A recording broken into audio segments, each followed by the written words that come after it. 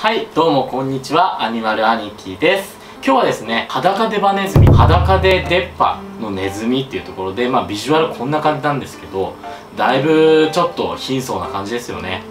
なんですけど、まあ、実はこのネズミ、まあ、不老不死のこう鍵を握るような面白い生態を持っているっていうところで、まあ、いろんな研究にも使われたりするすごいネズミなのでその辺りも紹介していければと思います。ではでは早速本題に入っていきたいと思います。今日紹介する3つの生態はこちらです。ドン。1つ目が新社会性を持つ唯一の哺乳類。2つ目の生態っていうのが無敵の技能。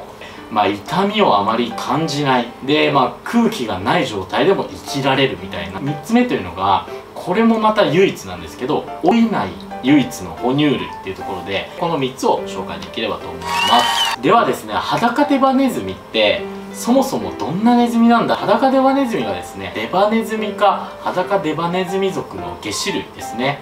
でまあ月種目のこういうネズミっていうのは実はま哺乳類の中でも半分を占めるぐらいかなり繁栄している種族でもあったりします。で、まあ、このような悲壮感のあるま見た目から動物園行った時とかもめっちゃキモいみたいなこれあ本当に無理なやつだみたいなだいぶやっぱり厳しい言われをしてるなと。でまあ確かに見た目ここ見てもらうと分かるんですけどまあまず毛がないですよね。まあ、実はピンク色のこう地肌見えてるんですけど毛はあるんですよ。ただ産毛みたいな感じです。でこの毛で、まあ、あの感覚とか、まあ、そういう誰かがぶつかったなとか感じたりをしているというところになります。でこういう風に毛がなくなったのっていうのも体温調節がま不要になっているからむしろ毛があると体温調節厳しくなってくるよねっていうとこで毛がなくなってきたっていう背景があります。で目一応ついてるんですけど目ほぼ見えてないんですよね。やっぱり地中の中で暮らしてると、まあ、そもそも暗いっていうところで、まあ、視界を頼りにするよりは、まあ、他の感覚を頼りにした方がいいっていうところで目が見えなくなっていると。もう一つ最後がやっぱり名前にもついてるこう出っ歯っていうところですよね。まあ、ネズミに特有のこう前歯がブリッと出ているっていうところなんですけどこれただの出っ歯だねっていうわけではなくて実はこの出っ歯の歯がですねどこから生えてるのかっていうのが大変面白くてこの歯そもそもあのトンネル土の中でトンネルを掘るっていうところで使っていくものなので皆さんイメージすると分かると思うんですけどこの歯で土を掘っていると土がですね口の中に入ってくるじゃないですか。どうなってるかというと口を閉じた状態でこの歯茎あたりからこう出てるわけですよ。その出っ歯がですね。こんな感じになってます。だいぶやばいですよねビジュアルが。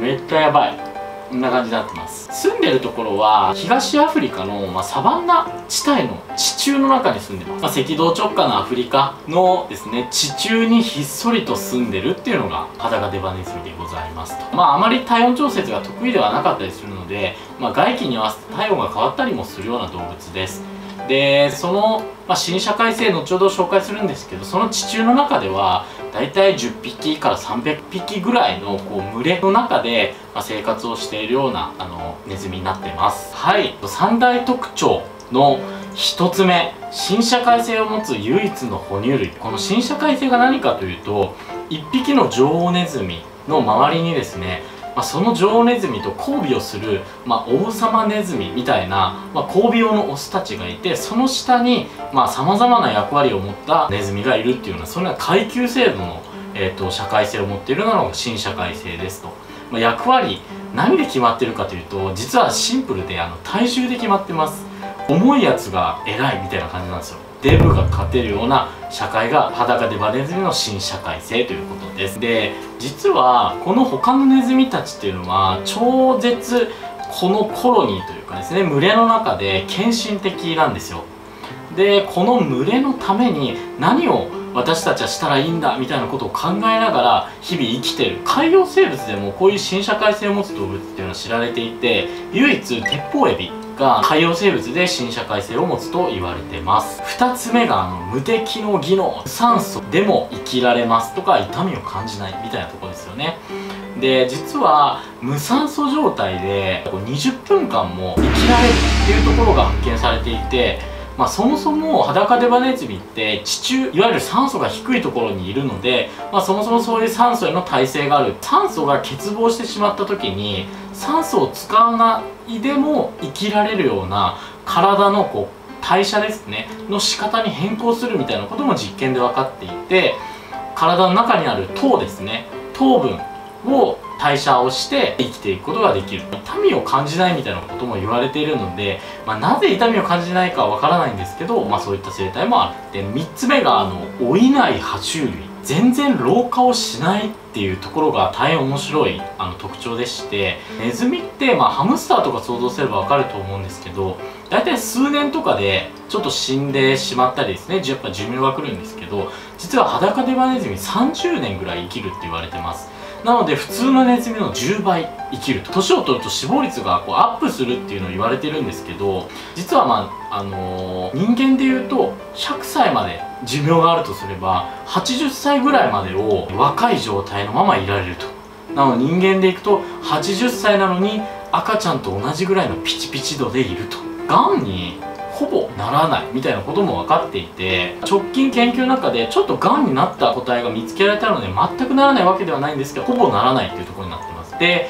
理由が、まあ、ヒアルロン酸をどうやら体内にたくさん持っているらしくてこのヒアルロン酸が、まあ、がんの原因であるこう細胞が無秩序にこう増加していくみたいなことを抑えてるっていうところが言われています。でその他ですねこう地下の生活なので新陳代謝があまりしないっていうところでがんになるような、細胞が増えるみたいなことにもならず生きられると。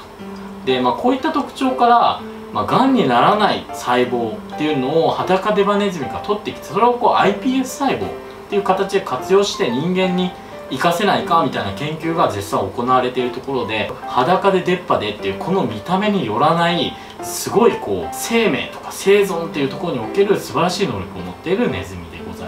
はいではですねここまでちょっといろいろ生態をご紹介していったんですけどもまあここからちょっといろいろまた考えていければなと思います。で1つ目が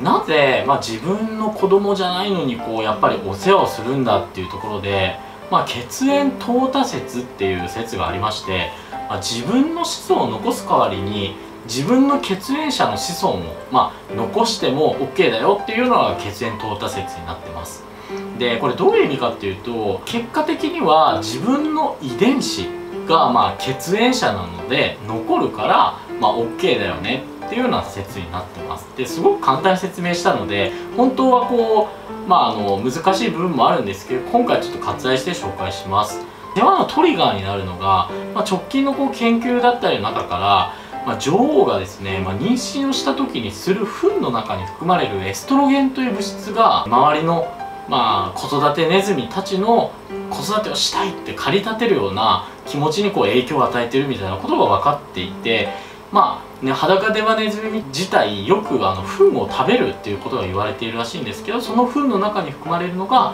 まあ、そういう影響を及ぼしたっていうところがまた面白い特徴です、まあ、やっぱり裸で出っ歯でっていうところでいろんなものを捨ててきてるネズミなわけですよ。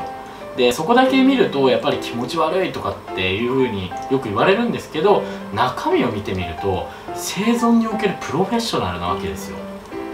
例えば、まあ、超絶こう実は群れとかコロニーに対して献身的だったりとか20分間も空気がない状態で生きられるとか老いを知らないみたいなところで、まあ、癌にもならないとかそういう生存における実はプロフェッショナルであったりするわけですよね。から動物たちっていうのはそういう見た目の気持ち悪さとかだけじゃなくてその動物ってなんでそういう体になってるんだろう？実はそういう見た目を捨ててるからこそ何かをじゃあ取ってるんじゃないか？やっぱりこういう面白い生態を持っている。っていうところが分かったりします。なので動物園とか例えば行ってみたらこの動物って例えば頭がハゲてると。なんでハゲたんだろう？みたいなところを一つ考えるだけでも動物の見方っていうのは面白くなってくるのでその辺りも是非、まあ、今後も紹介しますし皆さんも見てみてください。では次回は怠け者の生態を紹介しようと思います。実は怠け者ってこう名前から見ても、まあ、怠けてるっていうところで僕も怠け者になれたらいいなみたいなことをよく言われるんですけど彼実は生存におけるプロフェッショナルであり生態界のこう異端児というかよくそういう生き方したねみたいなすごくこうチャレンジャーな生き方をしてるすごくかっこいいやつなんですよね。なのでそういった生態も次はご紹介していこうと思います。ではでは人と動物を近づけるアニマル兄貴でした。ではではバイバイ。